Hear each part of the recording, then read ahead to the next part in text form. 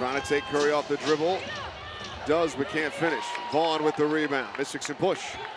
Two on two. Latta. Oh, no, she didn't. Oh, yes, she did. Ivory Latta. Well, I know Allen Iverson just retired and everything, but that was an AI move. Wow. Latta put moves on in D.C.